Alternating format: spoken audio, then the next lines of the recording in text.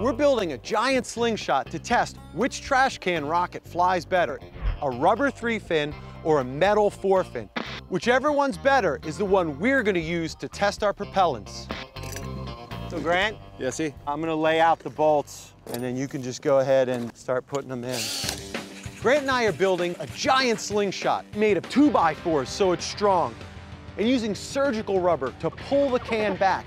We're using a cranking system to pull back the surgical rubber and then launch these trash cans so we can test how they fly. There you go, that's good. That's sturdy. All right, Good. All right. Let's do the, the this We one got to first. test this first. It has no stabilizing fins. I mean, this is just going to fly however it's going to fly. After that, let's test the rubber with three fins and then the metal with four fins. Yeah. Three, two, one.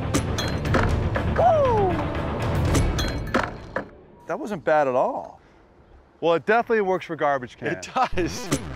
Yeah, it was marginal. I think we can do way better than that. Let's try again. This is the design that has a nose cone and stabilizing fins on it. And it should fly in a better trajectory than the last one. We checked with our friends at the Jet Propulsion Laboratory to figure out the trajectories. Look at it, nosedived. Did you see it nosedive? And it stayed intact. Yeah. Not bad. What it did was what we wanted to do. The trajectory was nice and smooth.